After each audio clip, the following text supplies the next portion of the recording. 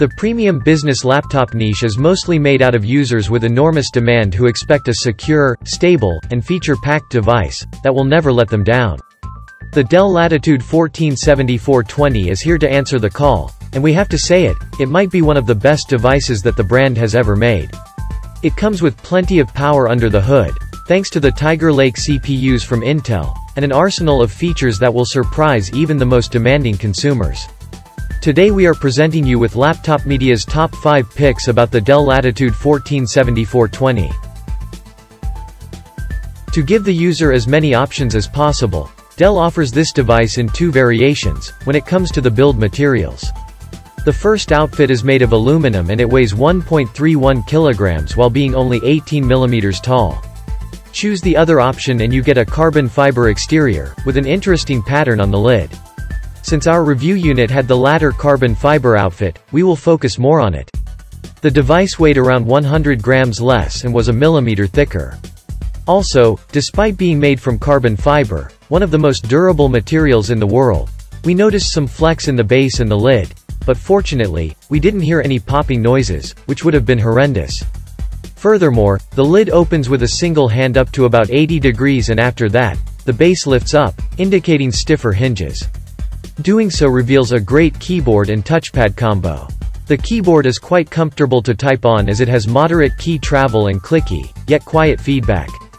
The power button also doubles as a fingerprint reader. The touchpad is also on point, with its glass-like surface, which offered smooth gliding and accurate tracking. Continuing with the trend of multiple choices, Dell offers one for the battery as well. There is a 42 watt-hours and a 63 watt-hours unit, of which we had the latter. It performed pretty well in our battery life tests, lasting for 16 hours and 40 minutes of web browsing, and 13 hours and 9 minutes of video playback. In case you don't know, we do our battery tests with the Windows Better Performance setting turned on, screen brightness adjusted to 120 nits and all other programs turned off except for the one we are testing the notebook with. Please remember, it would be of great help to us if you just hit the like button and subscribe to our channel.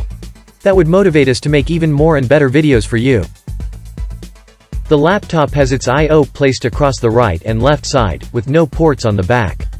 The left side houses a Thunderbolt 4 port, a ventilation grill, followed by a 3.5mm audio jack, and an optional smart card reader.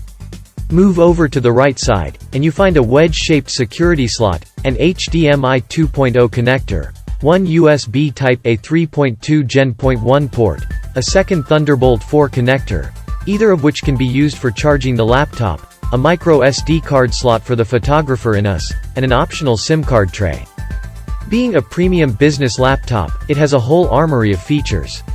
It is stacked with sensors, which are mostly packed on the top bezel. In the center, there is either an HD or a full HD webcam with a privacy shutter.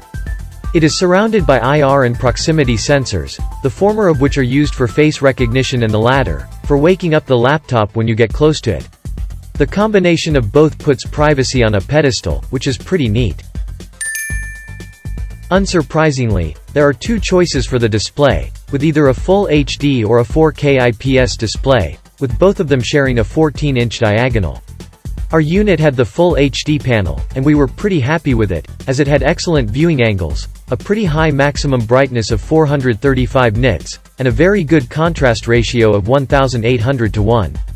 Color coverage is among the best, with 90% of the sRGB gamut.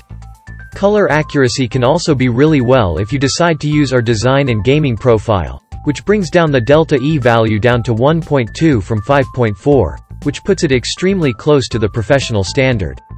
Here are the results with both the factory settings, left, and with our design and gaming profile, right.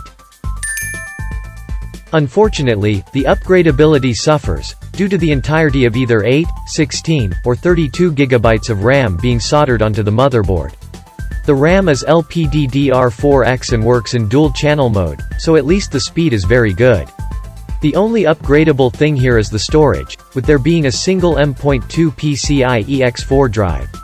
Here is our detailed teardown video, in case you're wondering how the upgrade process happens.